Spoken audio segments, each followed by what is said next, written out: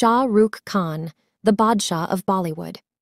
Shah Rukh Khan, also known as SRK, is an Indian actor and film producer who has appeared in over 90 films. Referred to as the Badshah of Bollywood and King Khan, he has earned numerous accolades, including 14 Filmfare Awards. Khan has a significant following in Asia and the Indian diaspora worldwide, and he is considered one of the most successful film stars in the world. Khan began his career with television series in the late 1980s and made his Bollywood debut in 1992. He initially gained recognition for playing villainous roles in films like Baazigar and Darr. However, he established himself as a leading actor in a series of top-grossing romantic films, including Dilwale Dulhania Le Jayenge and Kuch Kuch Hota Hai.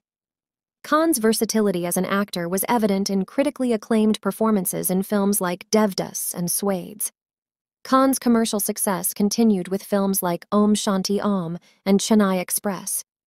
After a brief setback, he made a career comeback with the action films Pathaan and Jawan, both of which became some of the highest grossing Hindi films.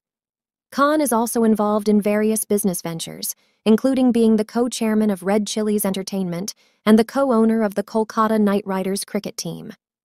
Apart from his acting career, Khan is known for his philanthropic endeavors. He has provided healthcare and disaster relief and has been honored with awards for his support of children's education and advocacy for women's and children's rights in India. Khan is regularly featured in listings of the most influential people in Indian culture, and has been named one of the 50 greatest actors of all time and one of the 100 most influential people in the world. Shah Rukh Khan's journey from television to becoming the Badshah of Bollywood is a testament to his talent and hard work. With his versatile performances and immense popularity, he has left an indelible mark on the Indian film industry and continues to be an influential figure in Indian culture.